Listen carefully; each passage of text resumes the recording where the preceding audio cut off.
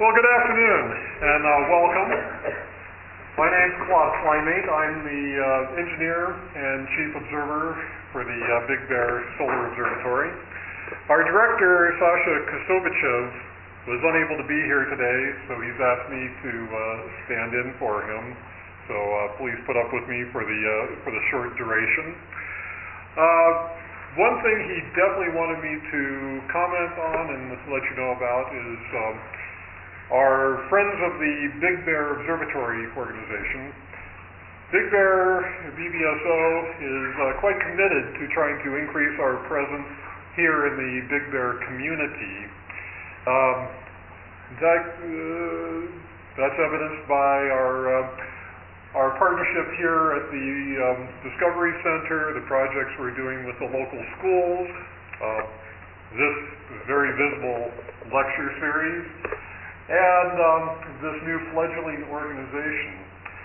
Uh, this is an idea to increase um, our interaction with the uh, with the local public.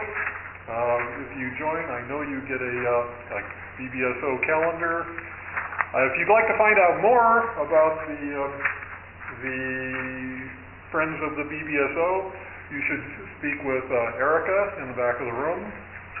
Now, this is the uh, second talk in the BBSO public lecture series.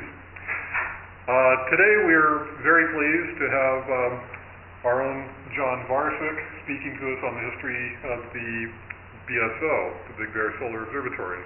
If I get this correct, John received his uh, PhD at the University of Hawaii, and uh, correct me if I'm wrong, John. Um, uh, since then, for the past 26 years, he's been working in the field of, solar astronomy, both here with the uh, Big Bear Solar Observatory and at the National Solar Observatory in uh, Sacramento Peak, New Mexico.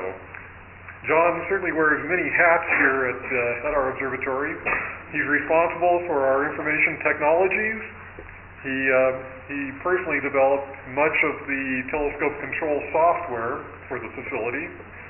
He uh, writes the observatory's daily solar activity forecast, and in his spare time, he's known to operate the telescopes as well. Uh, John has seen several generations of instrumentation and personnel come through the observatory here. Uh, there's really no one more qualified to talk about the observatory from a historical perspective. Please welcome Dr. John Varsik.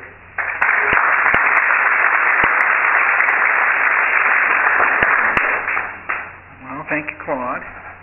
Um, I wanted to say, you know, when you're in Big Bear, you can go to the Historical Society and you hear all sorts of interesting talks about all sorts of strange things like grizzly bears and dams and fox farms and sorts of odd things, but usually you don't hear much about solar observatories.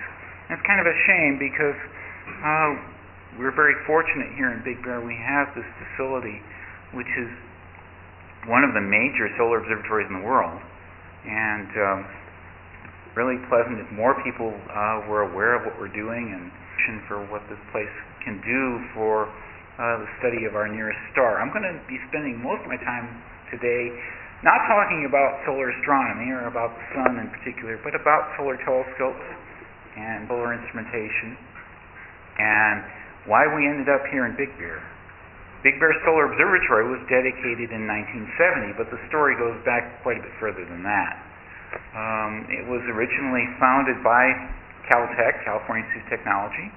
It's now operated by NJIT, New Jersey Institute of Technology. We're now operating, we'll think of as the highest resolution solar telescope in the world, which we call NST.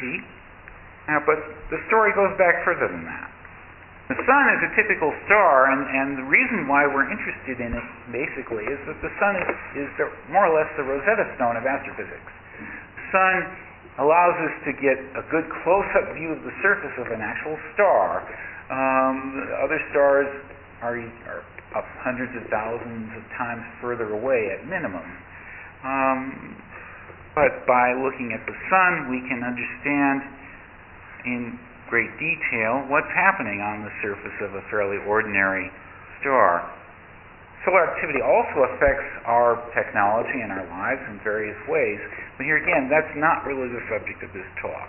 Um, briefly, though, we there are some uh, details about the structure of the sun that are of some importance. Basically, when we're on the when we're looking at the from the surface of the ground, the surface of the Earth, we're able to study um, the lower levels of the solar atmosphere pretty well. The uh, the photosphere, the normally visible surface, the area of the temperature minimum, the top of the photosphere, bottom of the, of the chromosphere, the next layer up, what we don't get a good view of from the ground in general is the corona. The corona can only be seen from the ground under very limited circumstances, either during rare solar eclipses um, or from very few high altitude sites, higher than Big Bear, uh, that can operate instruments called coronagraphs. But what we are able to do is we can measure the magnetic fields on the sun, which can tell us a great deal about solar activity, about how sunspots form, how solar flares form, and how these active regions develop on the sun. And people have been doing this sort of work for quite some time. Now, Galileo was the first person to observe the sun with a telescope back in 1609, um, and he was using a very primitive telescope and some slightly dangerous techniques. But it wasn't long after that before um, much better techniques were developed. This is a drawing of a telescope from about 1630, and um, it shows a technique of observing the sun, which is not very different from, from, from what uh, a lot of people, a lot of amateur astronomers do today. Uh, you have a small telescope up here, it's mounted on this stick, and it's set up to project an image of the sun onto this easel back here and it even is mounted on this mount here, which allows it to track the sun with one motion, and it's the same kind of mount we use today. Um, and in fact, you know, many astronomers still observe the sun in the same way. For example, this is a, a drawing from probably the best place for solar uh, drawings in the world, uh, which is the Mount Wilson Observatory, from a couple days ago and you can see all the sunspots that were on the disk at that time. Now at Mount Wilson, they also have a setup feeding a, a, a spectrograph, which allows them actually to measure visually the magnetic fields of the sunspot memory, which is what a lot of these numbers are there next to the sunspots. So, going back again, the sun gives us an active changing, changing star we can get a good look at. And what happened roughly 150 years ago, starting 150 years ago, was that um, this technique called spectroscopy began to be developed. What spectroscopy allows us to do is split the light of the sun or of stars up into a spectrum of, of the, uh, the rainbow. And if you split it up wide, far enough, wide enough, what you'll notice is, what you find is that the individual colors um, can be associated, many of them can be associated with emission or absorption from individual atoms that are in the surface of the sun or the star that you're looking at. And this uh, technique is what allows us to understand what the sun and stars are made of and, and how they work. Um, but this technique, because it spreads out the light so much, um, it began to be a problem. You couldn't uh, you couldn't photograph it very well because it was it made things faint even with the sun. And so around 100 years ago, began to be realized it was important to have large telescopes that were specially built to look at the sun. And the first person really to do this on a regular basis was a fellow named George Hale, who was a, a great solar observer and telescope maker. And he's associated, in fact, with the establishment of, a, of many observatories in the United States, including Yerkes Observatory, which is operate, which is owned by the University of Chicago and is in Wisconsin. And then, when he realized that um, the observing conditions in Wisconsin weren't all that wonderful, um, came out to California and um, found that things were much better out here and he went on to establish two great observatories. Sorry. Um, for observing not only the sun but also nighttime objects, and these are Mount Wilson and Palomar. And he was also instrumental in making the California Institute of Technology the great institution that it is. Okay. So, starting in, ni- in 1904, so 110 years ago, he began to build a thank you. He began to build a series of solar telescopes at Mount Wilson. The first, the first one he built was the known as the Snow Telescope, and it's this this thing here, and it has a flat mirror out here that directs the sunlight into a horizontal telescope and into a spectrograph further back. What he found when he did that was that uh, the great nemesis of all solar astronomers, which is that the sun is hot. It heats up the ground. Heats up the ground. The air above the ground begins to convect and it distorts the images. This is what the astronomers call bad seeing. the sun's very good at this. And so in general, most places, daytime seeing is much worse than seeing at night. So Hale began to think of, well, what can we do to defeat this problem? And in fact, trying to deal with or defeat this problem has been one of the great themes of, of solar telescopes for the last hundred years. And what Hale did was he took a small telescope and started climbing around in trees on Mount Wilson. And what he found is that it seemed like the seeing was better if he climbed up further in the tree. So what he said, okay, let's build a telescope on a tower. So this is what he tried to do next. He built this this thing out here. This is the, called the 60-foot tower telescope, and it consists of this tower with some flat mirrors in the top and a telescope lens in the top that focuses the light down into an observing room down at ground level. The idea was you could get the telescope above the ground and avoid some of the problems with the sun heating the ground, and it sort of worked.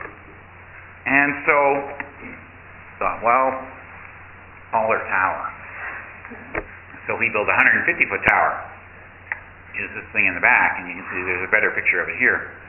And uh, these tower telescopes did work up to a point in reducing the effects of the solar ground heating. However, even um, even at that point, the solar ground heating would eventually warm up the ground, and after a couple hours or so in the morning, uh, the conditions at Mount Wilson are usually not very good. Uh, it's not a bad thing to say about Wilson. Conditions almost everywhere when you observe the sun after it's been up for a couple hours aren't very good. Um, these telescopes, the 60-foot tower and the 100 and the 150-foot tower, are still in use today, although I'm not sure for how much longer. Well, and of course, Mount Wilson was operated, and Palomar were operated by Caltech, and Caltech had a big solar astronomy uh, department. By the 1960s, the active nature of the sun, the active, the evolution of what we call active regions, the sunspot areas, and the production of solar flares was under intensive study. Part of this had to do with the advent of the space program. Um, the space program allowed us to put satellites in orbit that were actually measuring um, the solar wind and other emissions from the sun. And in order to understand where these things are coming from, we needed to have a better idea of how active regions evolved over time. And so the advent of, of narrow band filters, which had been invented back in the 30s, and stop motion cameras allowed the study of these rapidly changing solar features. But there was a big catch. You couldn't do it very well from Mount Wilson because after a couple hours in the morning, the seeing got bad. You couldn't see anything. So the Caltech Solar Group decided, well, let's try to build a new observatory that we will carefully select a site that has the best possible conditions. And so they decided, okay, we will conduct a great survey of places all over Southern California um, to find the best spot. Now, back in the 1950s, meanwhile, in Germany, uh, Karl Kiepenheuer, who was at the Fraunhofer Institute, was what was then the Fraunhofer Institute in Freiburg, um, which was kind of the German big solar astronomy institute, still is, um, advocated placing solar telescopes near water. The idea was that the water has a high heat capacity, it reduces the amount of convection in the air above the water, so the images should be more stable. And Kiepenheuer and his group built a telescope on the island of Capri, off the coast of Italy, and um, and found uh, that it did work up to a point. And so the Caltech group decided that okay, we will add some lake and ocean sites to the survey just to check this idea out. So they had some criteria for the selection of their new observatory. It had to be within 125 miles or so of Pasadena so they could get to it. Okay? And it had to be someplace that was reasonably accessible because they didn't want to have to spend all the money to build a road. Okay? And they had to, they had to be able to buy land so they could uh, build the place. And they wanted a place that had long periods of good seeing so they could make their time lapse movies. And other factors that they included in their selection was they wanted to also the site to be have good transparency, which means that it's free of haze and smog and dust and so forth. These are things that don't necessarily distort the image, but reduce the contrast. And they also wanted a place that was reasonably clear, didn't have a lot of cloud, low clouds and fog. Um, so they started off with starting with an eight-inch reflecting telescope that they put in the back of a truck and went around to a number of different locations. And they started with 34 sites and 100 locations, uh, slightly different locations at those different sites um, around Southern California. And this was taking place in 1966 and 1970. Finally, they did some observations using a portable narrowband solar telescope, um, which we call the Carroll-Spar, and they finally did those final observations at Big Bear and Lake Elsinore. This is what the Carroll Spar telescope looks like. Um, we had this telescope at Big Bear for many years after the after the um, survey was completed. Um, as I understand it, right now it's, it's kind of in storage at Mount Wilson. I think that's the last place it was at, and um, it could still be put back into service. But anyway, so these are the locations that were picked. Big variety of sites everywhere from Catalina, uh, Gaviota, near Santa Barbara, Mount Pinos, Palomar, Big Bear, Caltech campus, um, and then all these other places. Elsinore is over here. And so what did they find? These are some of the results from that survey. Okay, and let me show you what these are. These are the seeing values rated from 0 to 10, local time. Or you have the Barbara, Caltech campus, Big Bear, so forth. What you find is that typically here at Lake Elsinore, the seeing will peak kind of in the morning, and then it, um, what you'll notice about Big Bear is that it stays reasonably good all day. And the same was more or less true of Lake Elsinore. And so what they ended up doing is they, and they, they finally narrowed it down to choosing between Lake, Lake Elsinore and Big Bear. And the seeing was better, as you could see from that chart, from their survey, at Lake Elsinore. But Lake Elsinore is, you know, it's, it's relatively low altitude, and they get a lot of low clouds and fog there, okay? Um, and which we don't get here. And so that's what led to the choice of the Big Bear site.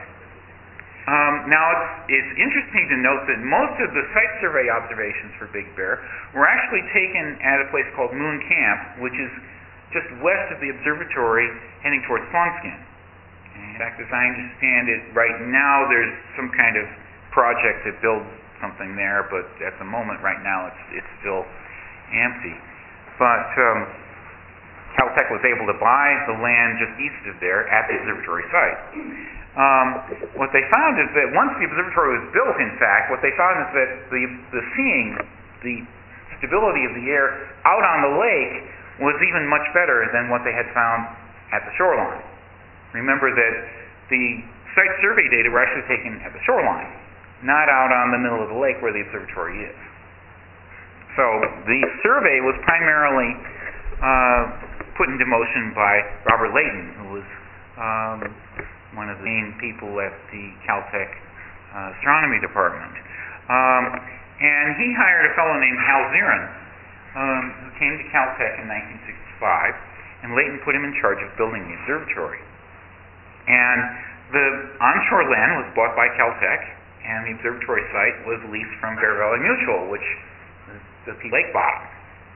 And so in 1968, they began construction at the observatory site. And what you'll notice, a couple things right away you'll notice about this. One thing, the lake was very low. Okay, the lake was very low. You know, you have to remember in those days, the lake was being run by Bear Valley Mutual, and it was being run for irrigation, and like in down in Redlands. And so very often the lake was drawn down quite a bit in order to water the orange groves. And so this was not unusual at the time. And what you notice is that there's this slightly higher point out here, and they built up this this road which goes out there. Now, in fact, what you're seeing here is not the causeway that's there now. It's quite a bit lower than the causeway that's there now. Um, and so later on in 1968, they began building the observatory buildings, which you can see. And then there came the winter. And the winter of 1968 was an extremely wet winter. Um, and it was it was one of the wettest winters that we've ever had here, and they had like 25 inches of rain. Now that's rain, mind you. Um, so what happened? The lake filled up. Well, fortunately, the observatory building was built to handle that. Um, and what you'll notice is that there's this this area here. Um, this is actually the floor below the ground level that's there now. And So the lake wasn't quite full.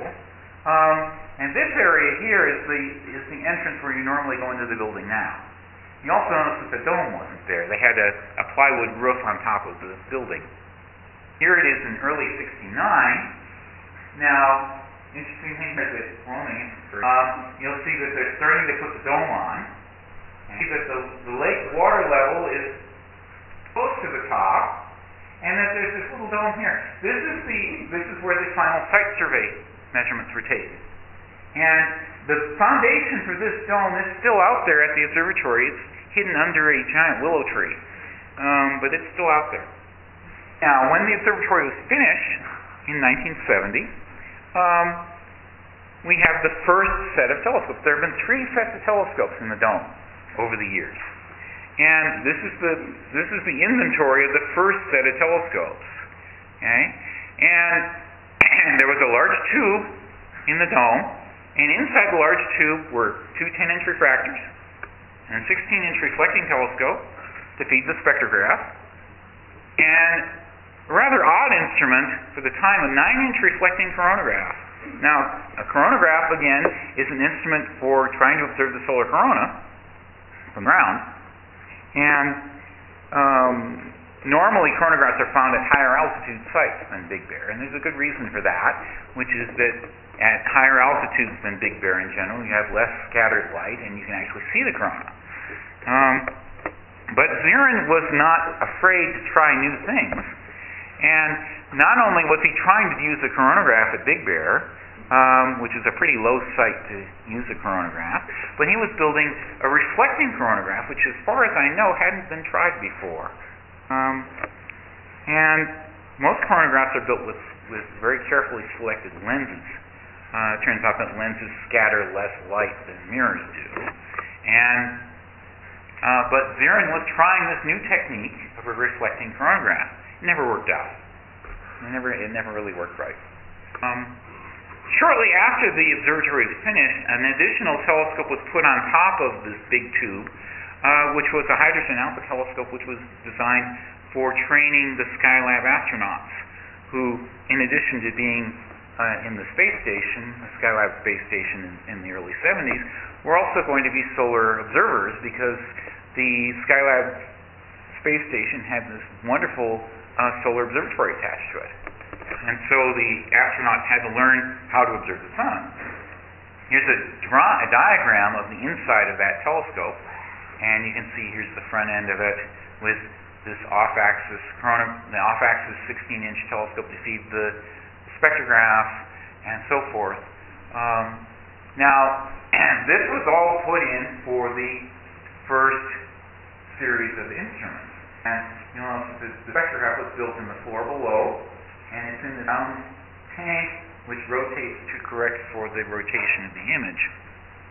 Uh, very quickly, a new instrument was added to this setup, known as the video magnetograph, which allowed for uh, magnetic field measurements to be made. And this not only allowed magnetic field measurements to be made, but the changes in the magnetic fields during the day could be tracked, which had never been possible before. Because magnetographs before this time had all been based on spectrographs, which took a long time to build up a magnetic field image. so here's a picture of the first. This is the same telescope that's in that drawing. This is where it was. This is down at Caltech. Uh, they installed the telescope on the roof of one of the buildings down there to test it out before they brought it to Big Bear. And this is uh, the reason why I picked this picture is that there are, it turns out there are very few pictures of this telescope that exist, and this is one of them. This is one of the other ones that exists. And this is in, this is at Big Bear in the old dome, and you can see the, the time-lapse movie cameras mounted on the back. These are these are being fed by the two-inch, ten-inch refractors refractors. There are some images from that telescope. Here's a, this is a nice prominence here, and a nice, a very famous solar flare from 1972. Now, in 1973, all those telescopes were pulled out. Um, you know, Zirin was not happy with the off-axis coronagraph, which never worked. Uh, also, the off-axis Cassegrain uh, telescope to feed the spectrograph never worked very well either. And he wanted to get something better. And so it turns out that during this time, he had also been involved with this project for uh, building an additional um, solar telescope that was, which was planned to be flown on the second Skylab space station, which of course none of you have ever heard of because it never flew. Um, however, the telescope was built, and it ended up at Big Bear. And so this big tank here has the uh, has that telescope inside it. Now, of course, that telescope was designed to fly in space, and um, it was built in a vacuum tank with a big window on the front for use as Big Bear. Now, it turns out that putting a solar telescope in a vacuum tank is a really good idea because not only do you have to worry about the sun heating up the ground and causing convection currents in the air above the ground, you also have to worry about the sun heating up the air in the telescope heating up the mirror in the telescope, heating up the air above the mirror, and it gets convection currents inside the telescope, um, which is just as bad a problem as having is a worse problem than having them elsewhere. and so, by putting the telescope in a big vacuum tank, you avoid that problem. Okay. Um, makes it harder, to, a lot harder to work on the telescope, but um, it does produce better images. Yes. Question. Um, with the Hmm? their concern about Well, the okay, the the internal um, the, actually no, um, the the internal uh, geometry of the telescope. It's a what we call a Gregorian telescope, and so at the bottom of the tank there's a 26 inch mirror down here, as there was, and it focuses light inside the tank onto this thing called heat stop. Now, of course, when you're moving the telescope onto the sun, um, that beam is not going to be hitting the heat stop necessarily, but it turns out that that beam is also diverging before it hits the, the window, and so yeah, that was not a problem. Yeah. And so here's another view of that telescope. You have the the back. This is the back of the tank. You're looking along the side of the telescope, and this is the back of the of the of the 10-inch telescope. Now, of course, what happened was that you ended up not only with this 26-inch vacuum telescope, well, we also or Zirin also kept one of the 10-inch telescopes, and um, the the uh, the hydrogen alpha full disk telescope, the so-called Singer Link telescope, and he slung those underneath the uh, the vacuum telescope. At the back of the 10-inch telescope, there was a set of flip mirrors to send the light to three different cameras uh, in sequence. so the mirrors would flip in and out. And usually you ran with a hydrogen, a hydrogen alpha filter on one side and say a calcium K-line filter on the other side, and those would be run with the stop motion movie cameras. And in the middle of the array was the magnetograph instrument. And here's another view. Um, this is the front end of the 26 inch telescope, and there was this cooling ring mounted on the front. And the idea of that was you could run cool water through here, and that would keep um, the air above the entrance window, which is here, from getting hot. And this was all controlled from this rather big, complicated, scary looking control panel that was up in the dome with the telescope. And so this, I'm not going to explain all the things about this panel, but you have the controls for moving the telescope, you have the controls for controlling the flip mirrors, you have uh, exposure meters for the cameras, um, you have guider amplifiers here, you have the video outputs here. This was this picture was from 1991. By then, um, in addition to the film cameras that were being used on most of the filters, there are also time-lapse video cameras that were being used. Um, the reason for that was, well, there were a couple reasons for that. One was that it allowed for the data to be reviewed quickly because you didn't have to wait for it to be processed. And um, and the other was you could more easily control the time-lapse sequences and so forth, video. The bad part about that was that the video was pretty low resolution. Um, of course, the film was much better. But we used a lot of video at that time. But as you can see, the images from the 26-inch telescope under very good atmospheric conditions were could be quite good. Now, one thing about solar seeing is that even at a site like Big Bear, um, it's extremely rare for conditions to be stable enough so that the atmosphere will be you'll be able to get the full resolution from a telescope of that size. Um, in fact, that hardly ever happens. In general, the best conditions that you'll see at Big Bear um, will allow you to get full resolution, say, from the 10-inch refractors. Um, but not from anything larger than that. As we would say, the Fried parameter is something at best is like 25 centimeters in technical terms.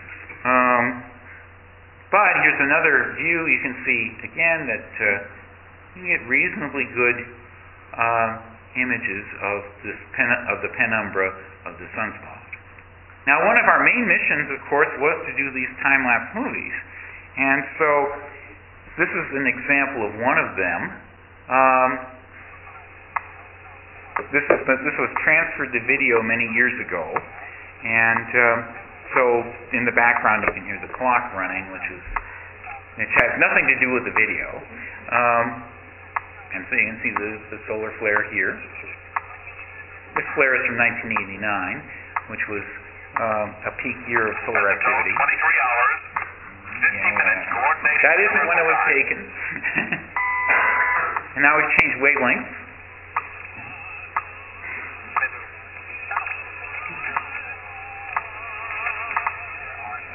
Oh, my God.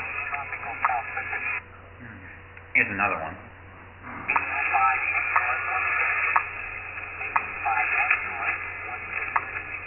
And so here now we've changed position and we've changed the exposure so that uh, we're looking to get more of the detail of the, of the active prominence.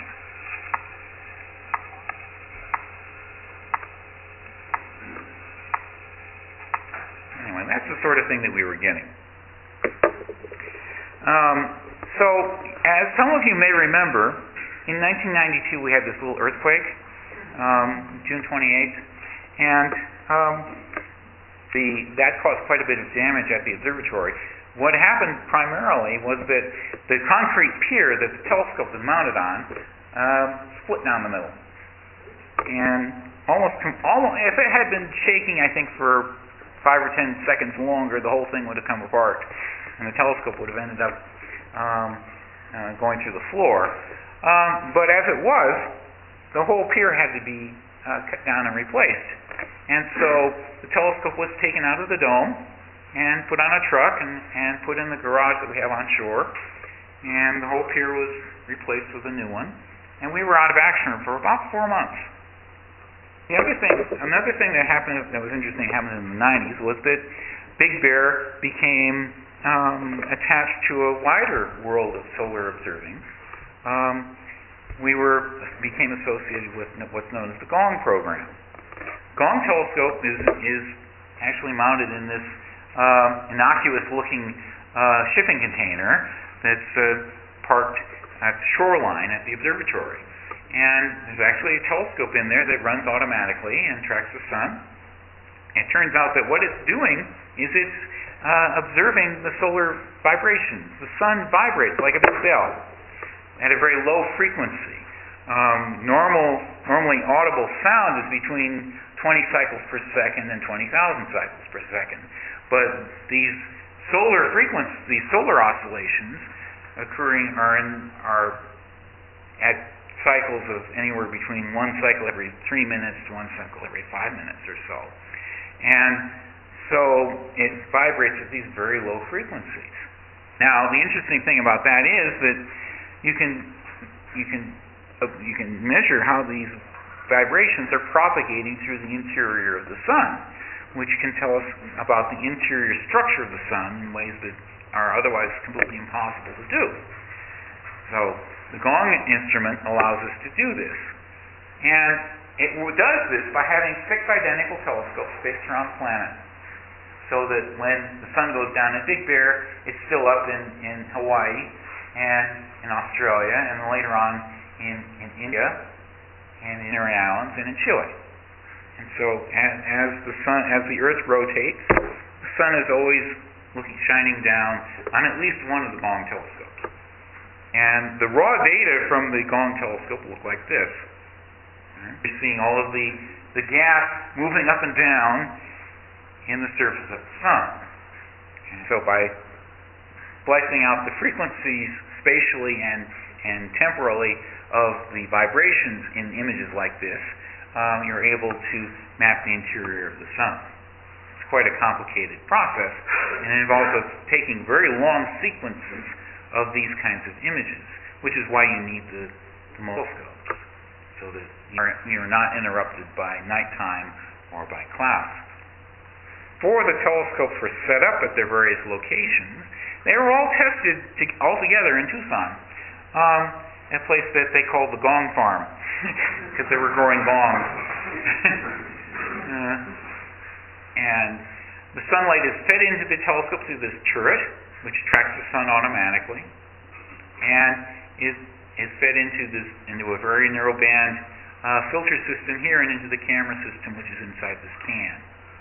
Now, in 1997, Professor Zirin uh, retired, and um, at that point, um, Caltech decided that um, that they wanted to concentrate more of their effort on their nighttime programs. During this time, the Caltech had not only, you know, they, for all this time they had Palomar, and now they had developed the Keck telescopes in Hawaii, and they were working on all these other uh, nighttime projects.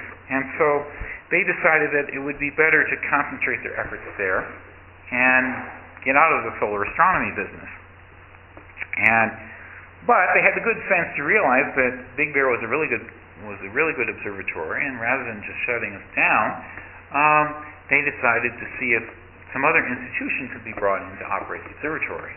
And so NJIT had a good solar astronomy group with a number of former Caltech people, and they agreed to take over the operation. And so now the observatory is now operated by NJIT. And so things continued uh, for a number of years after that gradually replacing the phone cameras and the video cameras with digital cameras, and uh, improving the instrumentation, and replacing the single spectrograph that we had for many years uh, as our single Coude instrument with a whole Coude laboratory with uh, optical benches and so forth inside, uh, so that a variety of different kinds of instruments could be operated. Fixed location, which is much easier to operate than uh, having the instruments hanging on the telescope. But still, it came down to a question of how viable the telescope was going to remain into the future.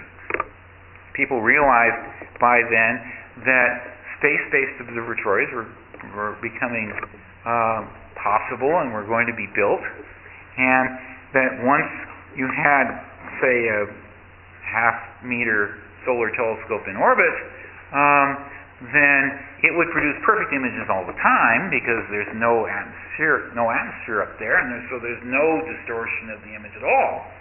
And so, how are we going to keep operating? How are we going to compete with that? There were there were a couple there were a couple of things that would help us. The first thing is that, of course, being on the ground, um, it's possible to build a big telescope um, without spending a huge amount of money. Um, you know, the Hubble telescope is a two meter telescope, and it costs like something like a billion dollars or something, and or more than that. And um, of course, it can't be used on the sun, uh, but you could, in principle, build a big telescope like that just for the sun. But there are two things wrong with that. One is that the money was never going to be available. So the solar community just wasn't big enough to push for a project like that. Um, but you could build big telescopes on the ground for relatively little money.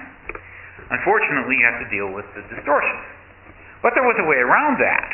Um, about 20 years before that, back in the late 70s, early 80s, the Air Force had begun developing this technique called adaptive optics, which basically lets you measure the distortion very rapidly and insert an opposite distortion into the optical path, correct for it. And so by doing that, you could, in principle at least, um, have a perfect solar image no matter what size telescope you had. And so it began to be possible then to think about building a bigger telescope. And built a bigger telescope, then we could observe at higher resolution than the spacecraft can, and for less money, and keep operating. And so, after many years, such a telescope has actually been built. And in 2008, we have installed, um, okay, it says the world's biggest aperture telescope. I'm going to get in a lot of trouble with this. I, I'm not going to go there. Um, anyway, it turns out there is another telescope um, in Arizona, which is about just about the same size as this one. Um, it depends how you look at it. It's slightly smaller, but not enough to matter. Um, but the, the thing is that that telescope has never had really high resolution images because it wasn't built for adaptive optics. It was built many years ago. And it has a lot of internal seeing problems, as well as being on the top of a hot mountain with uh, no lake around it. But anyway, so we have built the this 1.6 meter solar telescope, which is optimized for high resolution high resolution imaging and adaptive optics. So in 2003, we began to have the mirror made. This is a parent grade rough ground at the old, what was then Kodak plant in, in New York. The mirror itself is made of a material called Zerodur, which is, which is from Germany. And the property of this particular kind of glass is that it changes its shape very little um, with temperature. It's kind of like a super duper Pyrex. It, it, so even though it may get warm with the sunlight shining on it, it doesn't change shape, which means the focus doesn't change. And so finally, in 2008, the telescope was installed. We have a new dome now, because the telescope was too big to fit in the old dome. And, and here it is. You notice it has some unusual features for a telescope this size. It has this, this is the, the main part of the structure here. The telescope is pointed this way, up through that hole. You'll notice that the main mirror at the back is tilted. And this is because it's what's called an off-axis mirror. Instead of having the focus in front of the um, mirror, the way a normal telescope does, it has the focus off to the side, um, which uh, having the focus in front of the primary mirror reduces the contrast. And um, it also makes it harder for the adaptive optics to work. Um, and so, in order to prevent those problems, the telescope was built with this off-axis configuration. Now, this again was not the first time that such a telescope had been built. Um, you know, William Herschel built off-axis telescopes 200 years ago. Uh, but his telescopes and all off-axis telescopes since then were extremely long focal lengths. Um, this telescope has a very short focal length, 2.5 if I remember right. Um, and so for its diameter, it's very short focal length. And it's extremely off axis. Um, so that in fact, it's, it's, you can think of it as being a section out of a out of a, a theoretical mirror, an on-axis mirror of about this size. Okay, and so it's extremely off-axis, and and grinding, you know, polishing and, and and figuring such a mirror was a big challenge, and it had never been done before with a mirror this far off-axis of this size. The picture of the telescope in the dome. Uh, sometimes we have to do work on the outside of the telescope when we hire a big man lift to do that, and we can take pictures. And then here is what the telescope looks like when it's pointed at the sun. Light is being focused out over here, on behind this this bar here, so you can't see it. This is actually the primary mirror. Now, the telescope is not just, you know, when we think of the telescope, it's not really right to think of just the telescope as the thing that's up in the top of the dome moving around. The telescope is the whole set of instrumentation. So you have the thing on the top of the dome that's moving around. That's This is part up here, and it focuses the light down to the flat mirrors inside here, which send the light down here, down the axis, and down into these laboratories down below. These are the descendants of the Coude spectrograph. Um, this is where all of the, the science cameras are, and where the adaptive optics system is located. So we can work on these things down in a fixed laboratory at a fixed temperature, which makes things simpler uh, painting those instruments. Um, but it does require having this complicated optical system to get the light down there. This is what the inside of the laboratory looks like. And it actually works, which is the remarkable thing. So here is here is the proof of the pudding. Okay? This is these are two images of, of the same location of the sun at just about exactly the same time, taken with Hinode, which is a spacecraft with a half meter mirror, very fine instrument in space, and with the NST. So the same scale, you can see the same features here, but in our image you can see the details that you can't see. And that's the whole reason for doing this. Here's a picture of a sunspot, nice ordinary round sunspot. You can com- think of this picture, compare it with the one from 1989 from the 26 inch. Um, similar features, but you can see much finer details here that were impossible to see earlier generation Can television. you give them an idea of scale? Well, let's see. The features on the outside of the sunspot are called full, and each of these features is roughly the size, say, of California. So you can see that the sunspot, you know, it's bigger than the Earth. So going back to the original purpose of the observatory at Big Bear, which was to make time-lapse movies of the evolution of solar activity, is what we can do now. Oh yes, Kind of like Yes, this, so this is the solar granulation. And when you're seeing, it's like, if you're looking down at, all right, if you can think of a, I mean, this is gas, okay, but think of it, if you think of it as like liquid, uh, you think of it as like a pot of boiling water. Okay? You have the heat coming up from the bottom, you have these convective cells coming up to the top and expanding and going back down. Uh, that's what's happening here.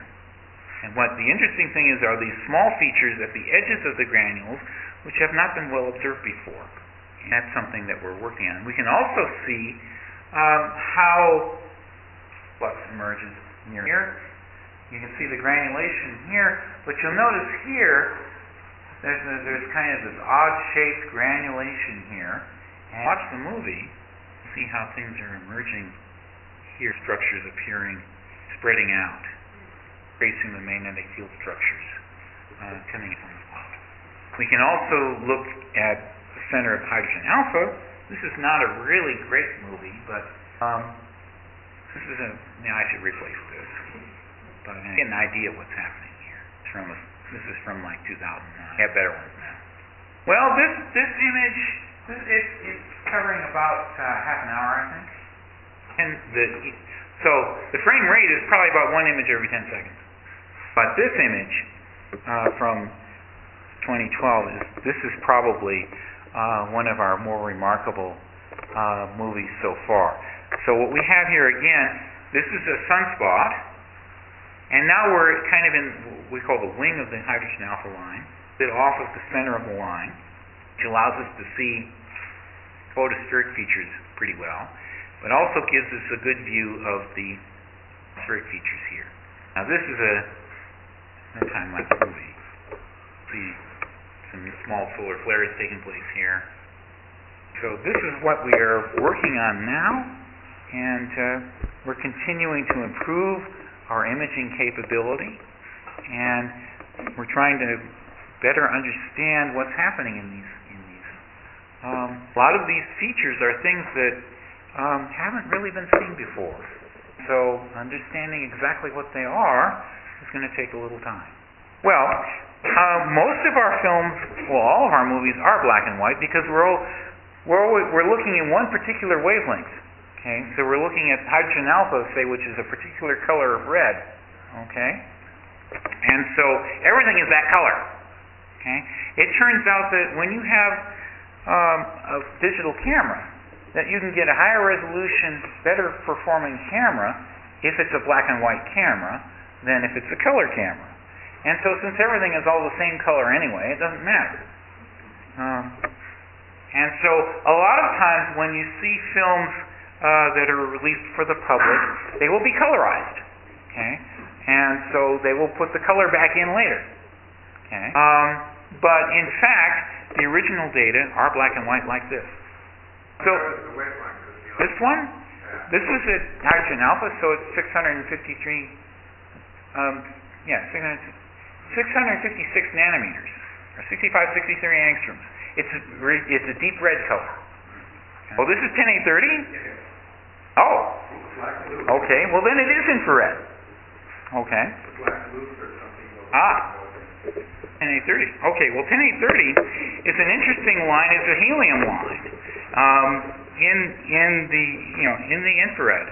Um, infrared is good for us because it turns out that the distortion from the atmosphere is less in the infrared, and the adaptive optics works better.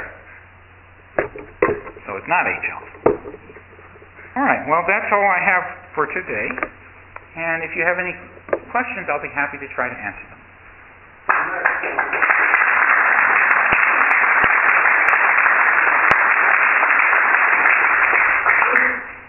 Okay. What's the next step of evolution? Well, the next step in the evolution of the observatory is a new instrument we're building called CYRA. CYRA is a is a infra is a infrared spectrograph that's intended to work at wavelengths that are longer than what we've been able to work at before. It will be working in the range between two and five microns. Um, now, it turns out that there are some interesting solar features in that wavelength range that have only been able to be investigated from a couple of other observatories and not at the resolution that we hope to be able to get. Um, they will enable us to look at uh, details of the layer of the solar atmosphere immediately above the photosphere, what we call the temperature minimum, um, and try to look at more detail about how the solar atmosphere transforms from being dominated by the motions of the gas to the to being dominated by the motions of the magnetic fields.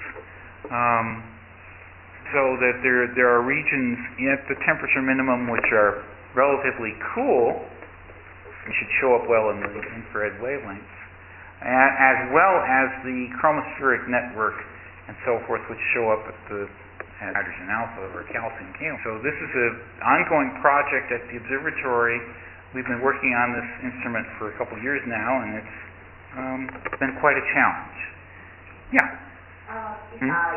you're, you were told that. Okay. At this point, I'm not quite sure how that's going to work out yet. Oh, well, that's true. Um, there will be this this big event that's going to be taking place in Big Bear on over Memorial Week- Day weekend.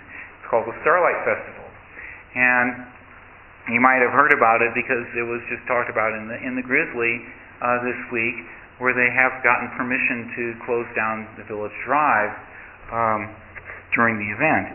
And what that's going to involve is a large number of um, organizations that are going to be displaying things in the village, and also uh, we're going to be scheduling some special tours that are going to be um, done through that uh, Starlight Festival.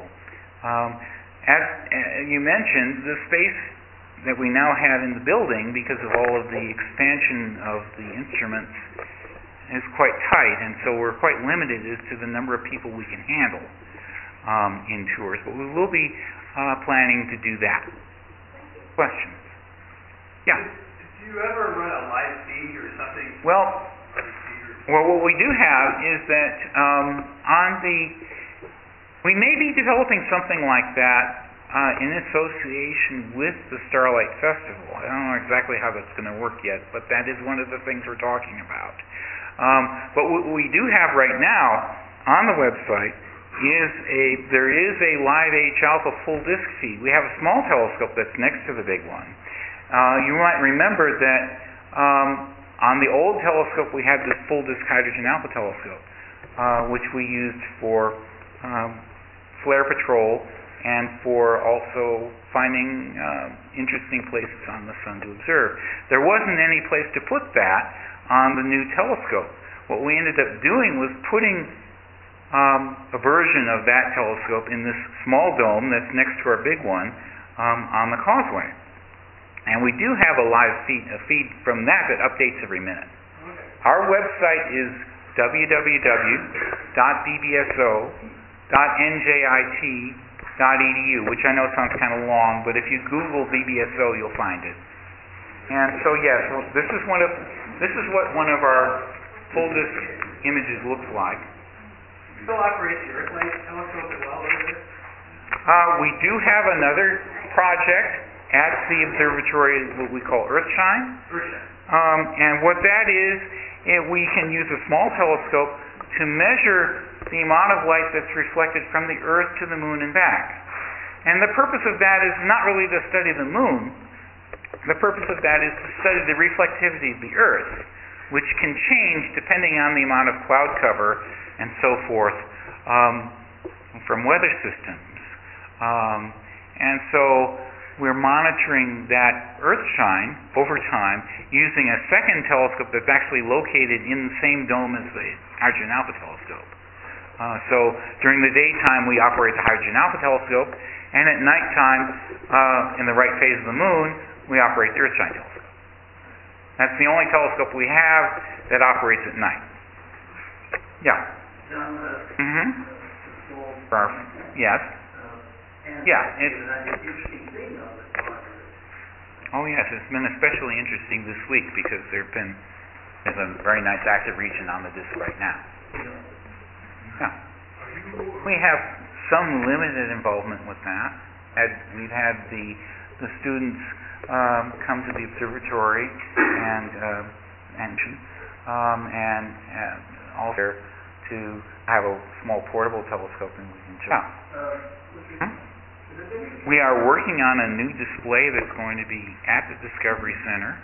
Exactly how that's going to work um, is not clear, but certainly one of the things that we would be displaying on that might very well be um, that image.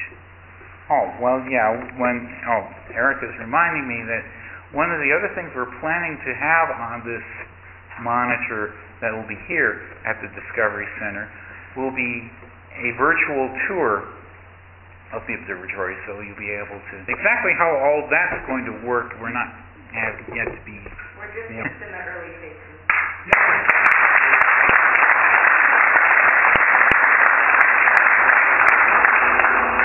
Now, again, I'd like to thank you all for coming and especially thank uh, John for his time here.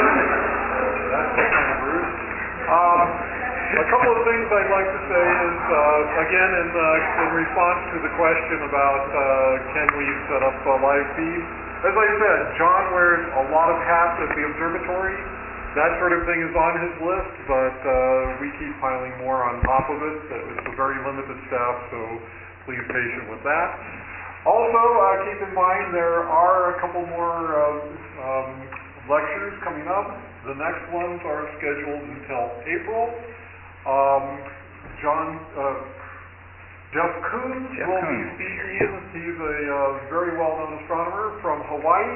Who will be speaking on the Colossus Telescope project. This is the concept, an extremely uh, large telescope, well larger than any telescope currently uh, in the plan, and uh, how that can be used for uh, the search for extraterrestrial intelligence. A couple of weeks later, we're very fortunate to have Jan Stenflo, another very well-respected solar astronomer, will be speaking on uh, watch for announcements on that. And again, if you have any interest in the uh, Friends of the Club, in